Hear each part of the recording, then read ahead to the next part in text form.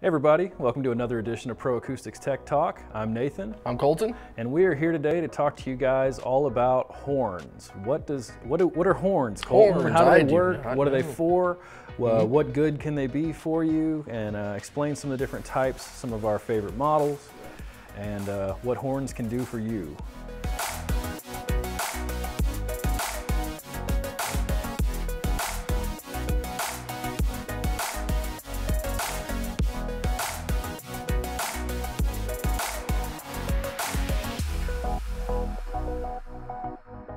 All right, Nathan. So we have some Atlas horns in front of me here.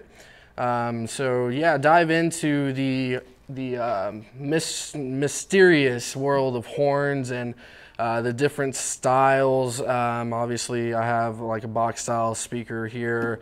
Uh, I have a, a massive guy in the middle, and then just you know our regular uh, paging horn. So kind of uh, walk me through this and um, you know what's the main differences between them. Yeah, you got it. So at Pro Acoustics, we sell a lot of different products. Uh, you just happen to have Atlas stuff laying here on the table. Uh, I used to say we sell from Atlas to Yamaha, but I think that leaves out some other manufacturers. So we got a lot of other people in between Yeah, there whose yeah. products we have available. Yeah. Uh, these are readily, avail- uh, readily available from us. Uh, we love Atlas products. They are built tough, and they do a good job of showing what I want to show you guys here today. Absolutely. Uh, so, like Coltin mentioned, we do have a speaker on the far left. That's a conventional, um, just a conventional speaker, built-in 70 volt transformer. For more on 70 volt, check back on our previous uh, video from uh, some months back. Yeah. But uh, the SM82T over there, we have that one in white. That's kind of a conventional speaker in the sense of it's conventional woofer and tweeter. You know, you've got an 8-inch woofer, then a high-frequency driver uh, beside it, uh, all inside of one cabinet. Uh, so it's going to be good for music, but at the end of the day, there's certain limitations of how far a conventional speaker is going to be able to throw. Right. So Yeah. sometimes we need to be able to send sound very far away. Uh, you hit on some of our uh, popular applications, ball fields. Um, I've done a lot of aquariums, rodeo arenas here in Texas are very Yeehaw. popular. Also, um, you know, we still do a lot of uh, paging and emergency stuff for factories, warehouses, um, manufacturing plants, things like that. So sometimes we have to have a combination of what type of speaker do you need for your application. Yeah. Uh, so what that comes down to is, do you just want music, and how far is it going to throw, or do we prefer, prefer more of like the vocal range? So when we say the vocal range of frequencies, people say, what does that mean? Yeah. Uh, basically, a paging horn, as we've all encountered them before, sounds like a megaphone, a bullhorn. Yeah. Uh, it focuses in on our voice um, so that it can project the human voice very long distances or tones thereabout. Gotcha. Uh, so basically, you know, this is a paging horn. I want to say under $150 or so, Yeah. but it can do upwards of 120 decibels plus uh, in the vocal range. That's extraordinarily That's loud. loud. This Yeah. this horn here can throw hundreds of feet, um, and while the SM82 might be able to throw those those same kind of distances, it's not going to be as loud. So by focusing in on those vocal frequencies, horns can throw sound very long ways. Absolutely. But then that leads us to the dilemma. What do we do for ball fields? Mm-hmm. Because Coltin and I grew up playing ball with this kind of horn. Yep. Um, you don't want to be listening to Enter Sandman or Welcome to the Jungle when you're walking up to the plate and hear it coming out of a Yeah. bullhorn or a megaphone most of the time. Uh, audiences these days want to hear something that sounds better, crisper, clear, fuller range. Need bass. Yeah. All about that bass. So enter our friend the Atlas FS12T. Yep. Um, this is uh, representative of the class of stadium speakers that uh, are many times coaxial, meaning there's actually a woofer and a tweeter, kind of uh, in, one in front of the other, um, and also is horn loaded.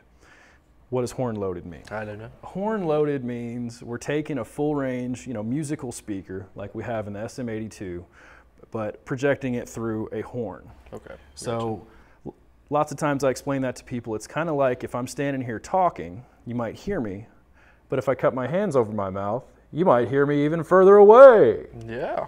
Yeah. So that same basic concept is, is uh, integrated into stadium speakers to where we can throw music further distances. Uh, so this Atlas speaker here is rated, I think, at peaks of like 130 decibels, and that's while covering the bulk of uh, the musical spectrum. So highs sound like highs, lows Right. sound like lows. Lows, yeah. We love this guy. We had had a great great time with it uh, out here in the field. In the fields, yeah, yeah, yeah, absolutely. And uh, to touch on, just to put in perspective, OSHA uh, they they require hearing protection. I don't know if I said that right, but uh, they require hearing protection at 85. At 85 Right. decibels. So, Uh, yeah. long-term exposure um, to volumes exceeding 85 decibels is where OSHA requires you to start wearing hearing protection. So that means that if one of these horns is able to do, you know, 100 decibels at about 100 feet or so, it's pretty loud. You know, Yeah. it- it's still booking it. You're still you're still rocking and rolling, and that gives you plenty of volume to get over your crowds or your ambient noise or that kind of thing. absolutely. So all that to say, we've got you know the Atlas FS12 horn, we've got the APX 30TN horn, we've got like the GA15 and GA30T horn, which are uh, some other options. But the main idea here is when you're looking at horns, we need to figure out: do you want more musical reproduction? Do you want more vocal intelligibility, or both? Uh, also, keep in mind when you get the best of both worlds, the price point does go up a bit. Yep. This one is from Atlas, uh, like I mentioned. We also have uh, stadium horns from other manufacturers like Community Loudspeakers. JBL. Love those guys. Uh, JBL. Uh, check out some of our other videos for some of their offerings. Yeah. I did a little uh, spiel over at the community booth at InfoComm. Okay, gotcha. Uh, and this is a 12 inch woofer. We also have stadium horns starting in six and a half inch woofers, eight inch woofers, 10 inch woofers, dual 12 inch woofers, 15 inch woofers on up, uh, as well as stadium subwoofers. So Awesome.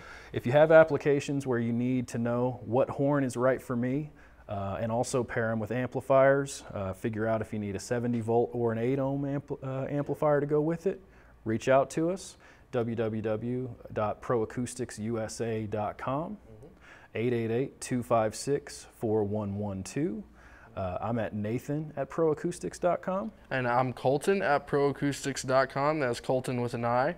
And again, just to reiterate, um, you know, share this around. I, we, we want to get more involvement with these videos. So if there's any questions that, you know, is on your mind still after watching, uh, watching this video, please feel free to drop them, you know, down below. Um, and you know get involved. Like i said we you know we're, we're trying to touch up on as much as we can and give you all the info that you need here.